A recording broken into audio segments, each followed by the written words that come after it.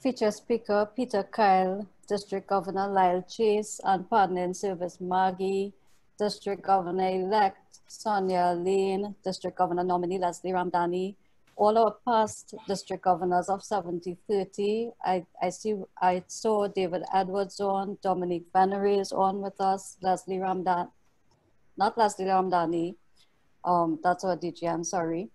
I also saw past district governors from 7030 with us, Harish Ramchandani and Felix Stubb. Welcome. Welcome to our Rotaractors, our interactors, our early actors parents of our early actors who I know have joined us this evening. We have some friends from community peacemakers who I also saw in the uh, participant listing. All guests, everyone, good evening. We are delighted to welcome you to District 7030's celebration of International Day of Peace. The International Day of Peace, also known as Peace Day, is observed worldwide every year on September 21st.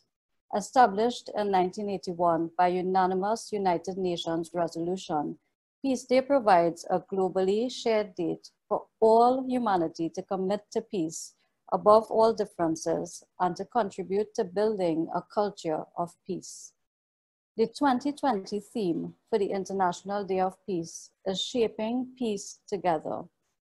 The United Nations has asked that we celebrate the day by spreading compassion kindness and hope in the face of the pandemic and has noted that this year it has become clearer than ever that we are not each other's enemies, but rather our common enemy is a tireless virus that threatens our health, security, and very way of life. COVID-19 has thrown our world into turmoil and forcibly reminded us that what happens in one part of the planet can impact people everywhere. Our district 7030 is comprised of 72 Rotary clubs, 47 Rotaract clubs, approximately 70 Interact clubs, quite a few Early Act clubs, with a vibrant peace committee comprising members from different countries within the district. The International Day of Peace has in the past been celebrated by clubs in our district through the planting of peace poles and engaging in peace walks and forums on this day.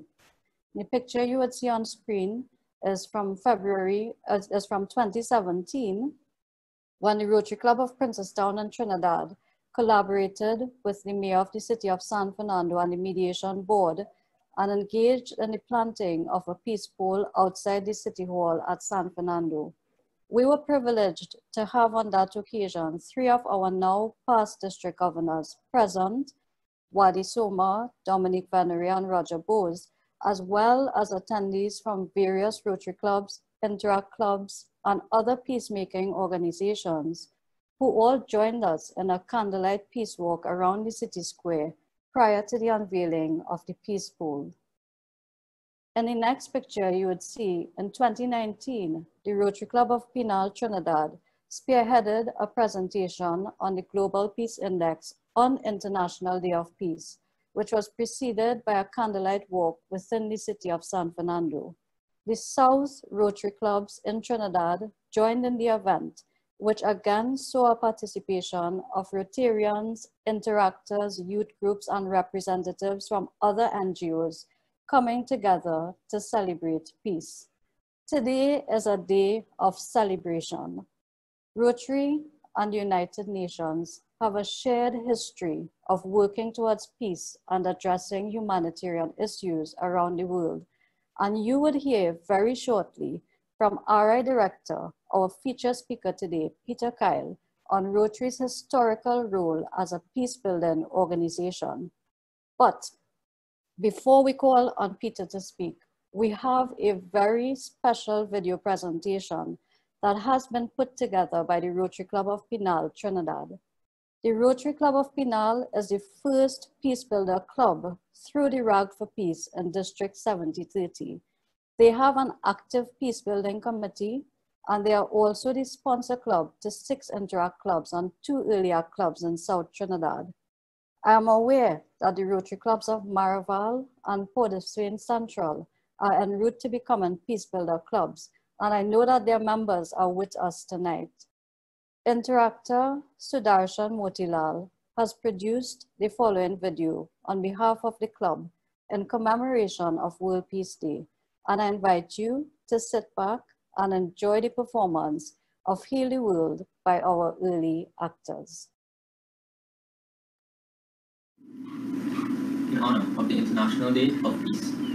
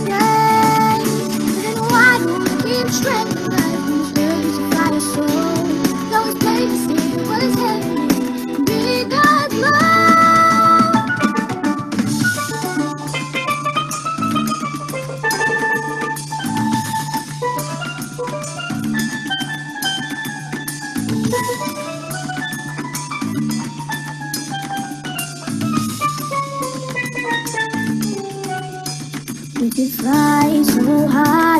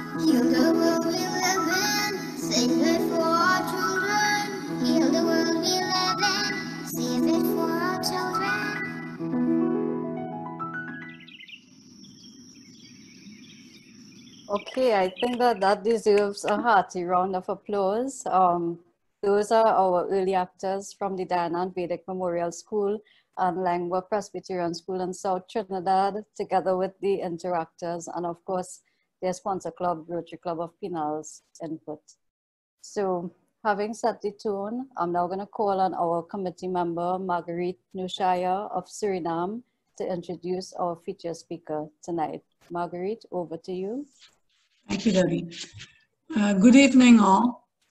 We are honored to have an all-round Rotarian and a very accomplished speaker with us tonight. Peter first came to the US from New Zealand in 1973 to pursue postgraduate studies in law at the University of Virginia as a Rotary Ambassadorial Scholar. After a career in private legal practice in New Zealand, he returned to the US in 1992 to take up a position with the World Bank as a senior international attorney. He retired from this position in 2009. He was inducted into Rotary in 1976 and has since served the organization in many capacities.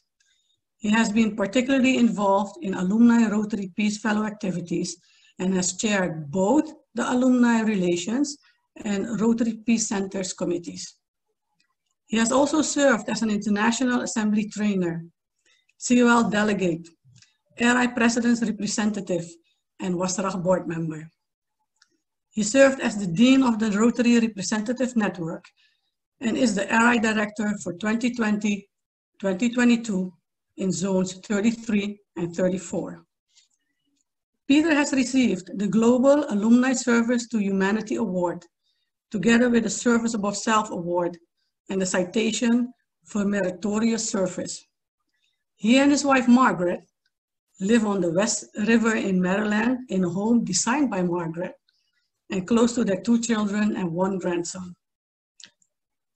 Dear Rotarians and distinguished guests, may we receive a warm virtual applause for our wonderful speaker, Rotary International Director, Peter Kyle.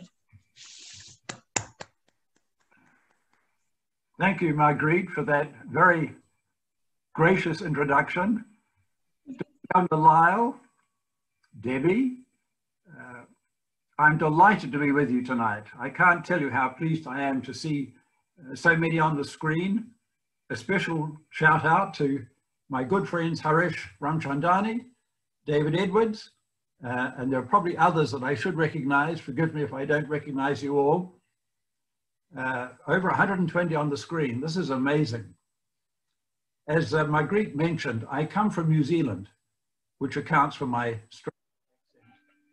um, and when I grew up in New Zealand, the Caribbean was a romantic, was a romantic place. We sort of dreamt of uh, islands in the sun, but more importantly, it was cricket. That's what defined the West Indies, the Caribbean. And now I'm in Washington, DC, almost as far from the Caribbean as it's possible to get in zones 33 and 34. But I still have that image of uh, uh, the Caribbean as, as being a paradise on earth. Uh, I'm sorry that I can't be with you in person. I hope very much uh, to meet you uh, at your district conferences next year. Um, I would like to commend the lady who, who gave the invocation. I always admire people who take the time to think of something really nice to say in the invocation. So congratulations, uh, uh, whoever you, you were. And Debbie, your introduction was fabulous. Uh, you did a great job. You thought about it. I have to say, it's been a pleasure uh, to uh, interact with Debbie over the last few months as we prepared for this event. Uh, she is just a, an amazing asset for your, for your district when I heard the Rotary anthem, I, I had to resist the temptation to spring to attention. It sort of reminded me of the Royal Anthem. Um, it's a wonderful tune, and I'm so impressed with, uh, uh, with the fact that you would include that in the program. But I think so far, the, the coup de grace of this uh, event has been the performance by the children just a few minutes ago. And I think the chats uh, the comments in the chat box said it all. Awesome, amazing, incredible. Uh, Harish's comment, it's quite emotional when you see children and you think of our background and, and the world that they are about to inherit uh, and the, the hope on their faces, the expectation, the optimism. It really gives us, us oldies, uh, some confidence that uh, we may not have done a good job, but there are others who will follow us uh, who, will, who will do a good job. Uh, so congratulations. Please pass on my, my congratulations to, to uh, all those involved in the, in the, the choir and the, and the girls, the children's performance. And I do want to congratulate the district uh, on this focus on peace. Uh, never has there been a greater need in the world for peace and unity. And you know, Rotary is right in the center of all of this. We have an extraordinarily rich and long history of peace building. And I'm very happy to be able to share just a few remarks about Rotary's peace building history. We all started, as you know, in 1905. Uh, the club extension started slowly. By 1910, there were still only 10 clubs. In 1915, we got to club number 15, which was the Rotary Club of Portland. And the focus for the clubs was, of course, service. But the overriding international issue at that time was the imminent prospect of war. The forces of nationalism were rearing their ugly heads in Europe, and in 1914, England and Germany declared war on each other, and that became the Great War. It's a terrible war, it lasted for four years, and after the war was over, once again, the focus on Rotary clubs was on peace. What could they do uh, to ensure that the, the devastation caused by the Great War would never ever occur again?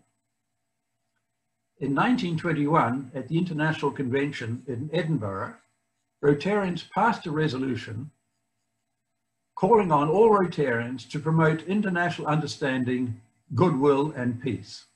And those words, international understanding, goodwill and peace, became enshrined in the fourth element of Rotary's object, and of course they constitute the basis for the Rotary Foundation. Next year, we will celebrate the 100th anniversary of Rotary's focus on promoting international understanding, goodwill, and peace. Rotary continued to expand quite dramatically in the 1920s and 1930s, but again, towards the, the end of the 30s, once again, the prospect of war became imminent, and in 1939, war indeed broke out in Europe. In 1940, in Havana, Cuba, of all places, and I might just say that in 1940, there were 58 Rotary clubs in Cuba. Now, sadly, there are none, although we hope that that will change before too long. In 1940, at the convention, Rotarians passed a resolution calling for, amongst other things, respect for human rights. That was the first time those words, respect for human rights, had entered into the international lexicon. And those, those words became the basis for the United Nations Universal Declaration of Human Rights signed in 1948, perhaps the most significant international document signed in the last century. In 1942, a number of Rotarians met in London. They were concerned with the impact of the war on education, scientific research, cultural monuments, cultural activities. They passed a resolution which led to the creation of UNESCO, United Nations Educational, Scientific and Cultural Organization. In 1944, President Truman and Prime Minister Churchill decided that the time had come to establish uh, a new organization which would prohibit war for all time. This was the start of the drafting process for the United Nations. Rotary was one of a very small number of organizations invited to send lawyers and others to work with officials from China, the Soviet Union, the United States, and the United Kingdom to begin the process of drafting. And in 1945, the charter was signed in San Francisco. 49 out of the 800 delegates were Rotarians. I might just say that when I look back at the history of Rotary, and I've, I've read a lot about the history, Rotary's impact in the world was probably at its peak in the 30s and 40s. At that time, there was no such thing as a non-governmental organization. Now, as you know, there are thousands of NGOs, but that wasn't the case before uh, 1939. Rotary had become, in effect, the first and the largest non-governmental organization. At that time, the classification criteria for Rotary were applied rather more strictly than is presently the case. Uh, in order to be admitted to Rotary, of course, you had to be a male, and we, we've rectified that, uh, that mistake, uh, but you had to be the senior partner or the general manager or the chairman. You had to be the sort of the head of your vocation, of your profession.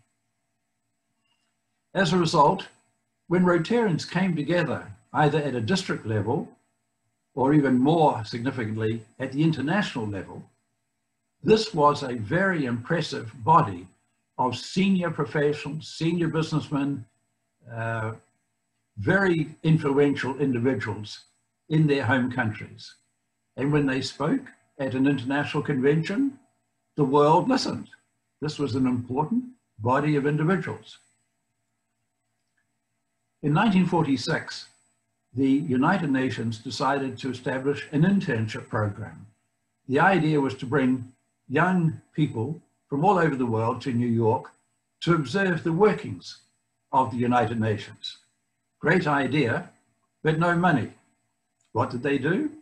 They approached Rotary, and Rotary gave a grant of $18,000 to fund the first internship program at United Nations. Rotary's relationship with the United Nations really went into abeyance throughout the 50s, 60s, and 70s. This was the time of, of the Cold War. But we reconnected with Rotary, with the United Nations in 1985 as part of the Global Polio Eradication Initiative. Specifically, we partnered with UNICEF, WHO, the World Health Organization, CDC, uh, and subsequently with the Gates Foundation and the Global Alliance for Vaccines and other partners. Um, at that time, there were quite a few informal links between Rotary and different international organizations. So in 1990, the Rotary International Board formalized these relationships by creating the Rotary Representative Network. This is the body that oversees Rotary's relationships with the United Nations and other international bodies. And at the moment, we have around 18 entities in the network. Uh, UNICEF, UNESCO, United Nations High Commissioner for Refugees, United Nations Environment Programme, WHO, FAO, the Food and Agriculture Organization, and a number of international organizations such as the World Bank, the Asian Development Bank, the African Development Bank, the European Union, the Commonwealth of Nations, the African Union, the Arab League, and Rotary has appointed Rotarian ambassadors, ambassadors with a small a, excuse me, as our representatives in each of the cities in which those organizations are based. So we have two in Rome, two in Brussels, two in Paris, three in Geneva, where the European headquarters of the United Nations is based. We have uh, six in New York, four in Washington, and several others in Addis Ababa, in Nairobi, in Cairo. And they have been very helpful in promoting Rotary Days at the United Nations. Uh, we've done this in New York for the last 20 years. There was a time when the Rotary Day at the United Nations in New York was the third most significant event on the Rotary International calendar after the convention and the International Assembly. Typically, the board would meet either just before or just after the Rotary Day. Three years ago, for the first time, we met in Geneva at the European headquarters of the UN. 1,600 Rotarians came together. It was a fabulous event. Uh, two years ago, we met in Nairobi the African headquarters of the United Nations. I had the uh, good fortune to be part of the planning team. And I recall going down to Nairobi. As I mentioned, the United Nations Environment Programme, which is the environmental arm of the UN, is based in Nairobi. I asked to meet with representatives of the UN Environment Programme. Five young people came into the room, all environment activist looking people. Unbeknown to us, it turned out that the team leader was a Rotary Peace Fellow from New Zealand. Doesn't get much better than that. The second person was a Rotary Ambassadorial Scholar. The third person was the president of one of the local clubs. We had prepared our elevator speech. We didn't need it. They knew all about Rotary. And they came prepared with a list of 25 projects, environmental projects, which they thought might be of interest to clubs and districts. That led to a meeting between President Barry Rassin and the Chief Executive of UN Environment, which led to a meeting between John Hewko, the Chief Executive of Rotary, and senior officials of UN Environment. And that led to a, a decision to establish a task force to prepare an environmental toolkit. This is a document uh, which was prepared partly by UN Environment, partly by the staff in Evanston, and partly by the Environmental Sustainable Rotary Action Group. It was promulgated in Hamburg last year, the International Convention.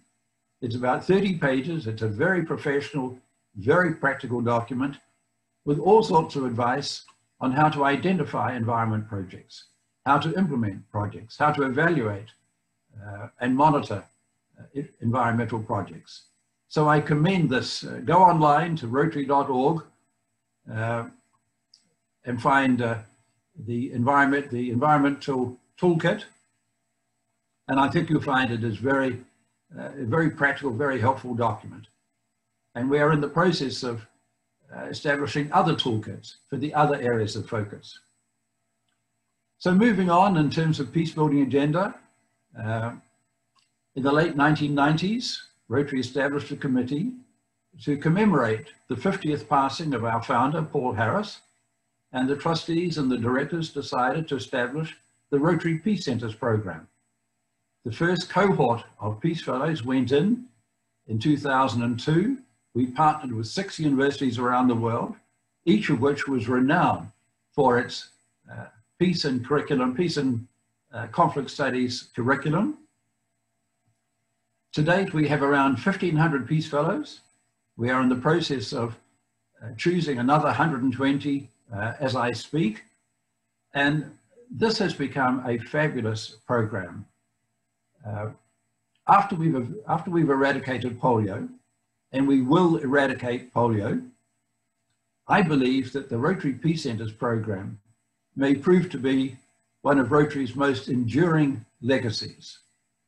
Many of our graduates who graduated in 2002 and 2003 are now assuming positions of responsibility in governments, in United Nations and other international organizations in the private sector. So we are really beginning to receive the dividend on this uh, extraordinary investment. And if you haven't liaised with the Rotary Peace Fellows, and I think you have, I, I know Debbie certainly has been involved with the, the Peace Center program, you really should reach out to Peace Fellows and invite them to be speakers. I think there have been quite a few from different parts of the Caribbean these are the creme de la creme. They are outstanding young people um, and, and worth meeting and, and worth listening to. In 2010, we established the Rotary Future Vision program, which identified six areas of focus. And as you know, peace and conflict studies was one of the, the six.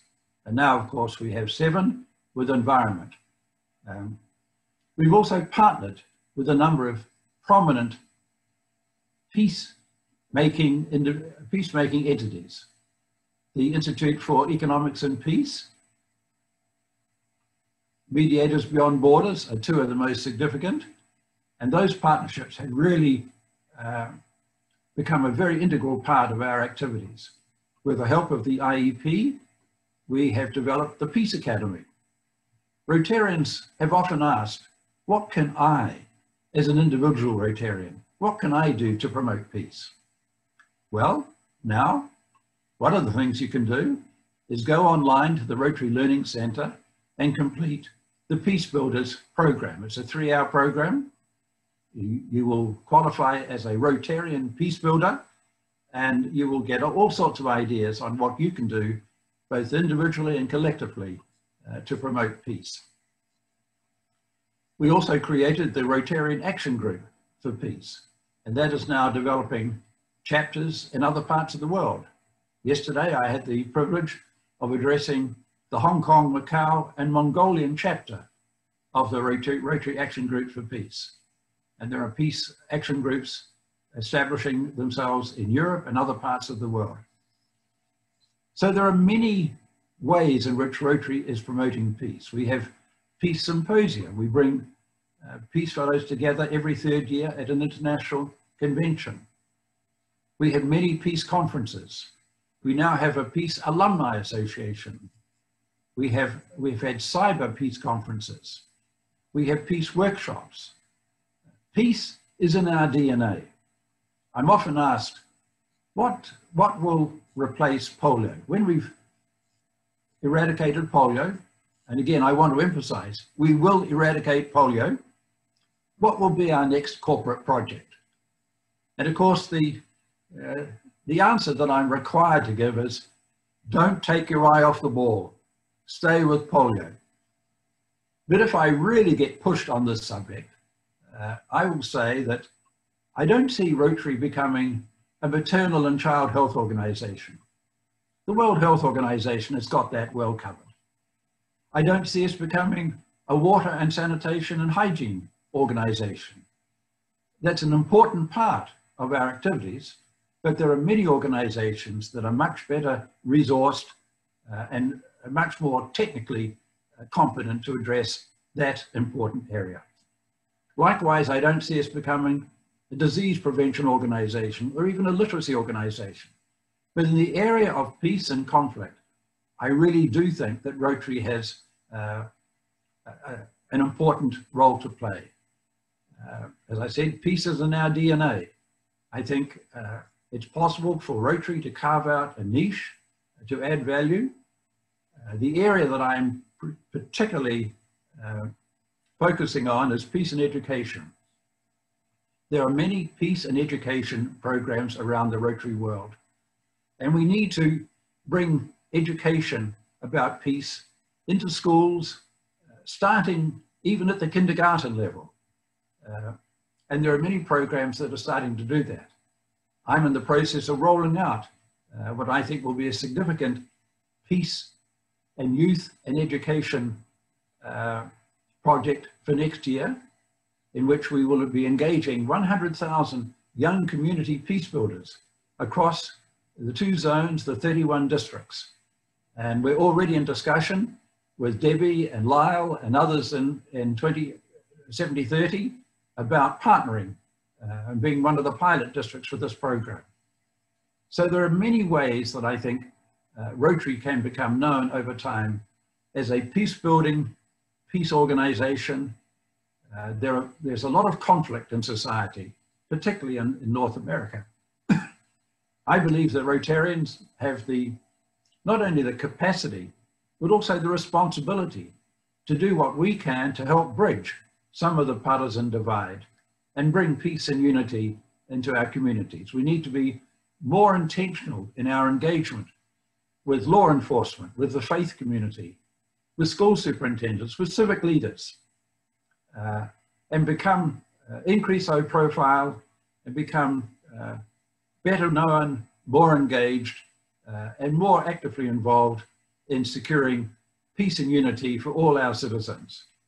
So uh, with that, I'll uh, come to an end. I've probably talked far too long. I do hope I've given you an idea about Rotary's role as a peace building organization and the rich history that we've had. And I think the the, the future going forward for Rotary, we've never been, it's never been more relevant. We, our role is so important. There's so much we can contribute. And what District 7030 is doing with Lyle and Debbie and others uh, is a role model for the way other districts in our two zones uh, should, should emulate. So thank you again for the opportunity to be with you tonight. I wish you well for the rest of the evening. Uh, unfortunately, I have to leave. I have to go to another, another district event in a few minutes, but I've so enjoyed uh, this opportunity. Uh, I'm happy if, Debbie, if there's uh, any particular questions, I can stay for a few minutes, but thank you again for this opportunity. Thank, thank you so much, Peter. On behalf of District 70, 30, and the Peace Committee, I know if you were with us in person, we would have been able to present you with a token. We have instead done a recognition of service certificate, which I would um, email you after the session. Very inspiring. A lot of our participants um, may not have known Rotary's history, although they are Rotarians. And as I mentioned earlier, we have non-Rotarians on as well. So I am sure that um, most of us would be very inspired to have heard the significant milestones Rotary has made in relation to peace. So thank you, thank you, thank you again. Thanks, Debbie. Thank you all. I want to take the opportunity at this point in time to recognize a few special people who have joined us. I saw immediate past District Governor Trevor Blake is with us on the call. Um, Leslie Harry Paul, past District Governor of 7030, and uh, Charles Seeley, our current District Governor of 7020, is also with us welcome and enjoy. At this point in time, uh, we, I would like to share a video presentation from the Presentation College, San Fernando, Trinidad on peace. Thursday, I attended a session where the Interact clubs in South Trinidad actually produced video and poetry pieces on peace. And they were all very remarkable performances. I can't show all of them tonight, so I've chosen one, but we will share with you a link in the chat to the other presentations, and I invite you to view them after the session. So sit back, enjoy this presentation.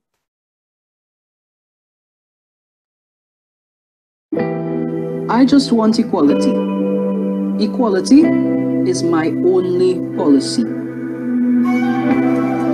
We all bleed red. Therefore, instead, we should stand as one. Being one as a people is greater than none.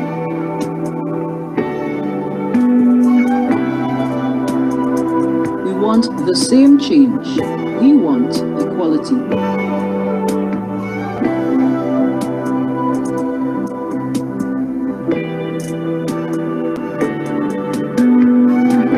Skin color should not represent who I am. Racial discrimination should be banned. No respect for one another, tongue lashing and violence upon each other. We used to play together on lunch times, but now you see me and can only think of violence and crime. It is time for us to be at ease. I want our future to hold nothing but peace. Nowadays, we don't judge a book by its cover. So why judge a person by their skin color? Every skin color is unique. It is about time we stand up against racism and speak.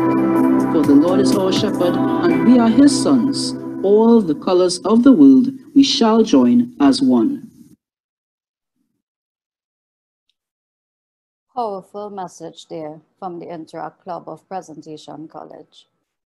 At this stage, I would like to invite none other than our leader of District 7030, District Governor Lyle Chase of St. Lucia, to bring peaceful greetings to our gathering. DG Lyle. Thanks, Debs. Family of Rotary, wow, we've been treated today to a wonderful presentation. Um, I'm so delighted. I can't tell you how delighted I am that both our friends in 7020 and our friends in 7030 are here with us. Um, I believe that our two districts are two great districts in, in the whole of the two zones, 33 and 34. And I believe we have the greatest Rotarians in the world. And I am so proud of our district peace team who are doing such an excellent job. I have to tell you, I'm proud of all the teams. They're doing wonderful jobs. Membership, environment, peace, childhood obesity. the district is showing how great they really are. And, you know, today we have past leaders and we have future leaders because I see both DG Sonia and DGN Leslie. What a wonderful legacy we're leaving for those who come behind us. So today, Heal the World, I'm getting goosebumps. That was such an awesome presentation. Interact, my friends, interact. You know, not even, no, I mean, early act is what I, meant to say, not even interact. I mean, awesome, awesome presentation. And I saw, I have to tell you this, I saw two bits of poetry from some, from in, some interactors as well that I'm sure Debbie will have them put up on the district website um, because they were awesome. They were awesome. We have wonderful, wonderful young people coming up behind us. So let us set the example. Let us set the pace. Let us have fun and show them true leadership as we are doing. And I thank you all for taking the time out. Tonight I saw we got up to 155 people, may have gone a little higher, but that's great. I know some of us are suffering from Zoom fatigue. I certainly am, I have to tell you. But at the end of the day, when I see things like this, I get empowered. I get my energy back. So, my friends, I look forward to the next one. What can I tell you? I, I know that we have uh, a great uh, presentation coming up on the foundation because I've seen the, the speaker lineup, that's in November but there will be others. We don't mean to crowd you, but at the end of the day, we can't see you. We can't be together. So this is how we are working to keep not just District 7030 together, but District 7030 and 7020, because my, my buddy Charles is here. And together we made a promise to each other that we are keeping. So thanks, God bless. That's all I have to say tonight. You know I can talk too much. So Debbie, I promised I will be short. So thanks a lot and we'll see you next time. Thank, thank you very much, DG Lyle. Special recognition to RMO Audley Knight. Audley, I know you are with us as well. Thank you for joining. Before I move on to the next, before I call on DG Charles to bring us greetings, I would like to showcase a presentation of projects for the first quarter within District 7030. COVID has been challenging for everyone in terms of being able to carry out the Rotary, the work of Rotary. And I was so proud when I went on the Facebook pages of most of the clubs to see that that did not stop us in 7030. So I invite you to take a look at this brief video presentation of some of the things we have been doing for the first quarter.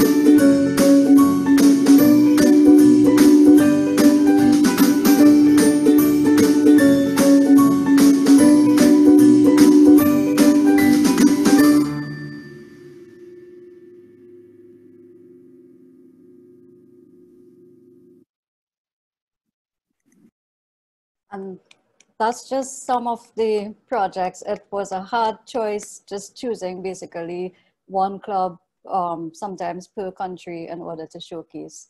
So great work by 7030. I want to recognize the presence of past District Governor Felix Stubbs with us tonight as well. Felix, great to have you with us.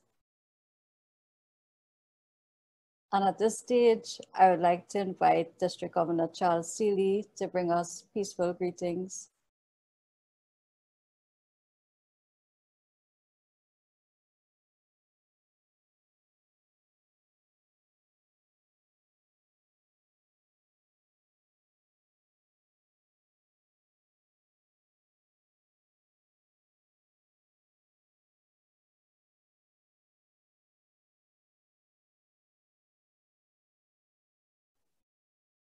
I am not seeing DG Charles on the call. I know he was here up until a minute ago.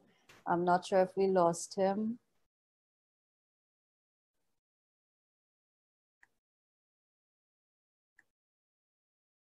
Okay, it appears that we have lost uh, DG Charles. Uh, so I would move on at this stage to invite our committee member, Brian Ramatali, to give the vote of thanks for this afternoon session. Brian? Fellow Rotarians, I am deeply moved, motivated, inspired by what I've seen here this evening. I have goosebumps. I don't know if you do as well, but I want to say a hearty thank you to everybody, everybody who took the time to join here this evening to make this so successful. I have to say a, a, a truly special thanks to AG Debbie. AG Debbie has gone way beyond the call of duty here and has been extremely motivating to, to work with. And uh, she's our leader of the, uh, the, the district uh, peace team. And uh, I have to say that it is absolute pleasure to work with Debbie. Absolute pleasure. She has done, she shakes things, she moves things, and she will get things done. Believe me, she will get it done. And what you have seen here this evening has been really well organized by AG Debbie. So thank you, AG Debbie. I know uh, this is not, you don't want me to talk about you, but I have to say it has been fantastic. And I know everybody on this meeting is going to be very appreciative of what you have done. That early actors, to the entire team of the early actors and those who participated in coordinating that and making that so successful ladies and gentlemen, put your hands together. Put your hands together. That is absolutely fantastic. One of the greatest things I've seen in such a long time that makes me as a Rotarian stand up and say, I am a proud Rotarian. That makes us feel so proud that we are part of such a big network that even that we have a strong future with upcoming Rotarians fabulous work to all those who made that successful. I also want to say thanks to everyone who uh, came in from District 7020. Truly fantastic, very motivating, very inspiring, absolutely wonderful. Thank you for taking the time. To the DGs uh, uh, from uh, 7020, uh, DG Charles Seeley, thank you for your attendance. Uh, DG Lyle Chase again, and Maggie, so good to see you too. Oh, it's awesome. Ladies and gentlemen, a special round of applause for Maggie. Fantastic. Thank you for being here. Oh, awesome. Awesome. I am so happy to see you. I know I, I, it's, it's, motivating. Thank you so much. And uh, DG Lyle, thank you for sharing Maggie on your screen too. We appreciate it tremendously. Thank you so much.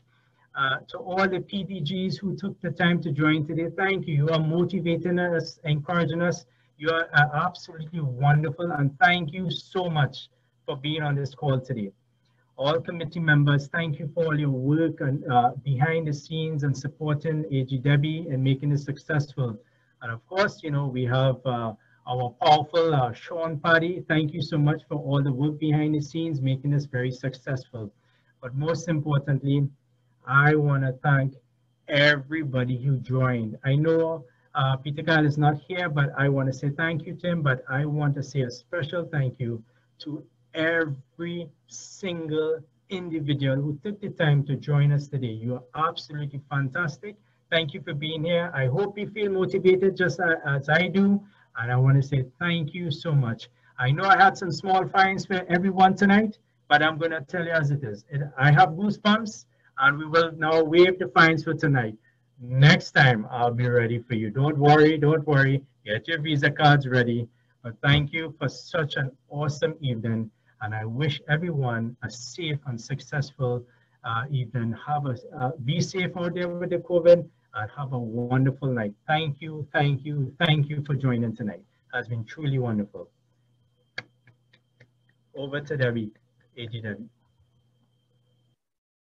Thanks, Brian. And just to add the interpreters who give us human service, Vicky, Natalie, thank you guys so much.